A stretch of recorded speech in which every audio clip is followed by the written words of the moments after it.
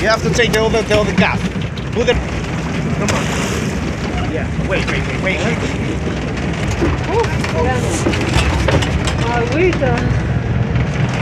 Wow! Yo, man, drop me, man.